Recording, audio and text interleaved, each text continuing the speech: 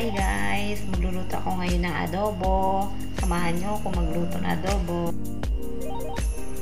Nalagyan ko siya ng lemon para matanggal yung lansa ng manok.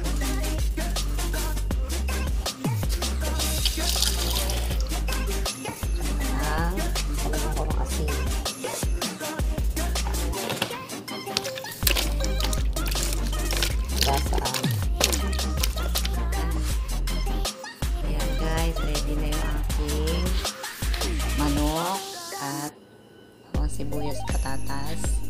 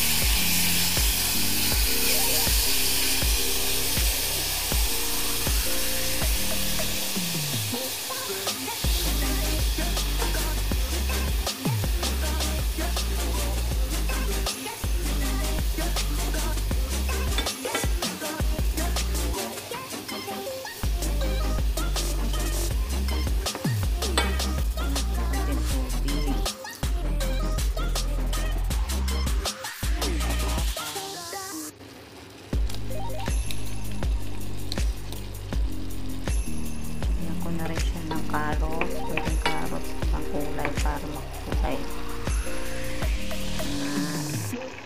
Lagyan ko na siya ng toyo. Paminta.